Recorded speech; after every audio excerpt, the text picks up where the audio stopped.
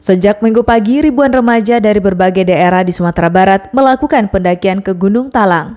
Mereka akan merayakan HUT kemerdekaan ke-75 RI dengan memasang tenda di puncak gunung setinggi 2.597 meter itu. Gunung Talang menjadi pilihan ribuan pendaki karena rute pendakian menuju puncak gunung itu tergolong mudah dibanding mendaki puncak gunung yang lain.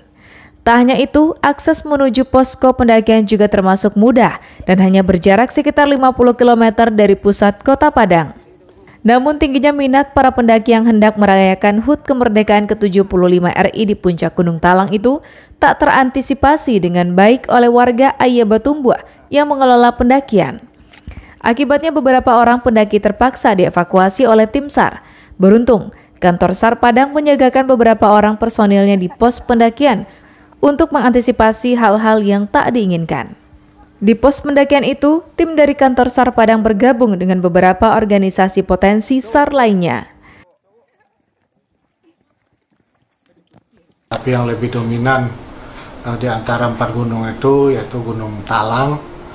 Kemarin yang uh, kita sudah berkoordinasi dengan potensi dan juga uh, pos penjagaan yang ada di Gunung Talang itu ribuan uh, uh, berkaitan dengan kegiatan tersebut ya kami juga mendirikan pos di sana pos siaga khusus namanya uh, dalam rangka kegiatan uh, pemantauan untuk uh, mengantisipasi hal-hal yang tidak diinginkan oleh masyarakat atau pecinta alam atau pendaki yang berada di Gunung Talang.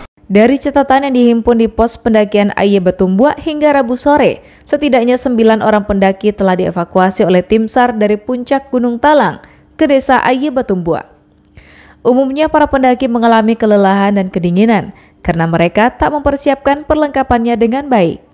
Kini sembilan orang pendaki yang dievakuasi tersebut diistirahatkan tim SAR di rumah-rumah warga hingga kondisi fisiknya kembali pulih. Sebagian besar para pendaki baru akan turun dari Gunung Talang pada Kamis sore karena mereka ingin menikmati keindahan panorama dari puncak Gunung Talang.